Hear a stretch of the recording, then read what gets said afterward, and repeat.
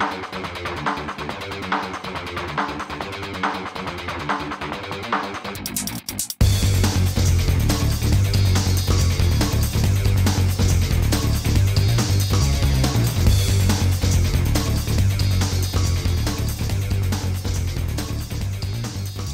and welcome to another in a nutshell edition of Cyril's Brettspiele. My name is Nils and today we are talking about Knot Dice. Attention, this is a deluxe version, so there's a base version and a deluxe version. This is a deluxe version and the difference is simply the number of dice. In the base version you have 18 dice, you have this token and in the deluxe version you get an additional 18 dice. You only need that if you play it with more people uh, and no of these cloth bags. You get the rulebook, you get the 18 dice, and you get the tokens in the base version.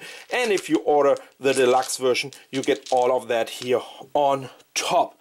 However, let's talk about what this game is all about and let's take a closer look to this dice. First of all, these dice are cool because they are individually uh, created. Take a look at that here. Is that really looking cool? The structure, this green structure. Oh, nice, or isn't it? Okay, but what is it all about? It is a knot, a Celtic knot. So what you're trying to do is building Celtic knots. And these uh, dice here have open ends. So to the top there is this one going up as an open end. But as you can see, to each side is an open end. And if you see this one here, that has only one side, the right side that is open.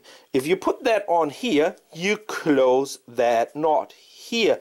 If you play that one here and that one here, as you can see, you are closing even more. Now you have only one, two, and three open edges. If you put that one here, you have only two, and so on. This one is a little bit of a stretch. That doesn't really help, but let's say this and that would be now a completed closed Celtic knot. And you're usually trying to do this in a game. However, this game, Knot Dice, is not really just one game. Technically, it's 12 different games. It comes with two rule books. This one means games, and there are 12. I repeat it, 12 different version of games in it. I show you one in a second. And on top of that, you have also solitary puzzles, seven different puzzles. In some puzzles, you simply try to have a grid like this here, and you try to even by swap them like this here, two dice on their positions, not changing the direction or the side, just swapping positions. You try to make the perfect knot. The other option is you take a complete row and put it on the other side. Uh, that's the two options and you try to beat your score from a previous round by just completing this knot. That uh, is a little bit of three-dimensional thinking. A couple of people like it, a couple of not. I really uh, always like three-dimensional thinking, so for me it's a perfect game. Uh, if you wanted to make it a little bit harder, there are rules in it for make it a little bit harder, then you have a 4x4. But wait, that's not all, because it's getting even more nicer. Sometimes you are building three-dimensional cubes, like this, for an example here. Boop, boop, boop. And now, uh, it's very hard with one hand, and now you have to make it on three different sides. So this must show a perfect knot. This side also and this side also. So three sides must show a perfect knot to complete this puzzle. That reminds me a lot of Rubik's Magic Cube. So that is a little bit of puzzle. For this one you don't have any rules. You can rotate the uh, dice whatever you want. But finally you will have to make this Rubik's Magic Cube here out of knot dice. That is cool. That's a cool puzzle. Now I wanted to show you one co-op game. There are cooperative games in it and also games that are competitive. In another game, this game for an example, you take two dice and roll them. It's up to three persons. Then you put it to the side. Next player is taking two out of a bag or just from a stack. Let's assume you only have the basic. And then the third person. Now you roll a third dice, so technically you can roll three dice. And now you try to build a combined knot. So you're bringing out one into the middle, then this person is bringing one into the middle. And the third person is rolling a die and bringing one die into the middle. So you play that uh, uh, until you not can or will not place a die. Then you can burn it and simply discard it. However, at any time when you have three discarded dice, you will lose the game. On the other hand, if you not do a completed knot, and this one is obviously not a completed one because this is illegal this open knot goes into a I show it to you in a blocked side. That was this would be legal, but this is illegal. If you're not making uh, at least 15 dice, 15 of these knot dice in a complete, completely closed knot, you are losing two. So the goal is to make 15 dice or more, up to 18, in one complete, completely closed knot. Then you simply score and it simply uh, place dice minus the longest line. In this case, let's assume I completed it like this. So then I used 17 dice on 1, 2, 3, 4, 5, 6, 7. 17 minus 7 is a score of 10 points you have a little bit of a scoring track in it and can uh, take a look if you are good or bad. That is another one uh, game that you can play with up to three people. If you have the deluxe version, you can play it with up to four persons. And that was just one game and two puzzles I showed you. This game has a lot of variety.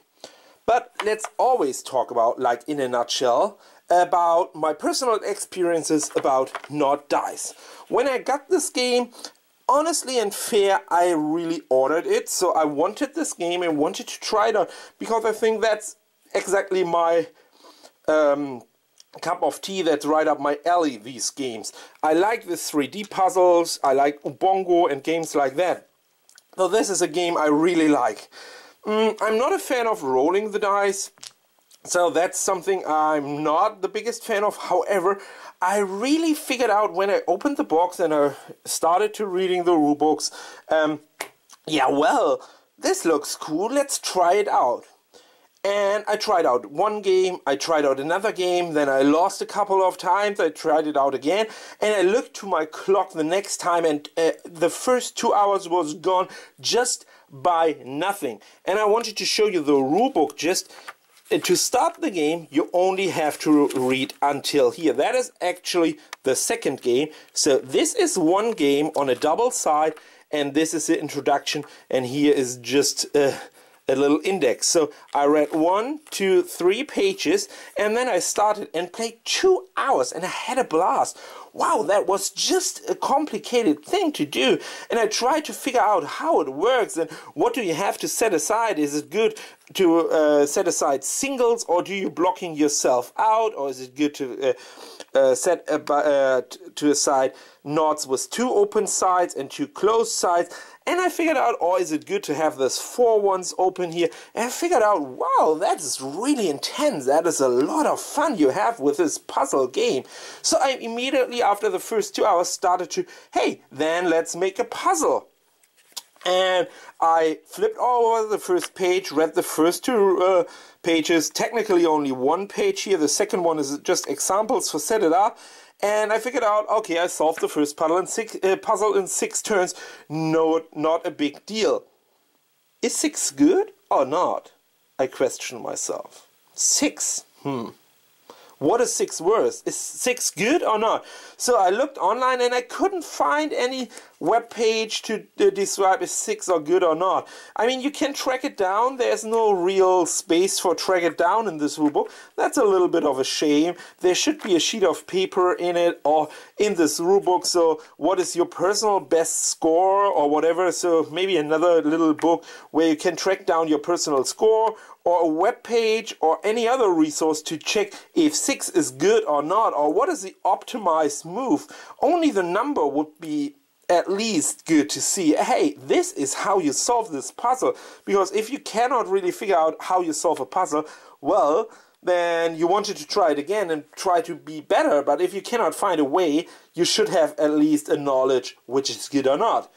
Anyway again back to my point. I played the game Knot Dice four hours in a row all by myself after i read a couple of pages and honestly, how cool is that?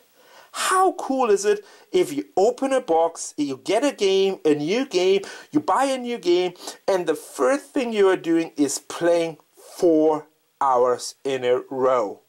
Wow, that was a good feeling. Yeah, I just wanted to give you my personal opinions as, as, always in a nutshell on Knot Dice. And I can only say wow I had a really good time with playing these games. 12 different games is a lot of there are speed games in it where you have to try to be faster than your partner these are the competitive They are uh, co-op games where you have to try to make a big knot out of it and if you don't have a partner simply play the puzzles or even try to solve the co-op as a solitaire game if you are a big fan of abstract dice games and trying to solve puzzles like Magic Cube from Rubik's, then Knot Dice is exactly what you want. Thanks again for watching Cyril's Brettspiele. My name is Nils, in a nutshell with Knot Dice from Black Oak Games and see you next time. Until then, bye bye.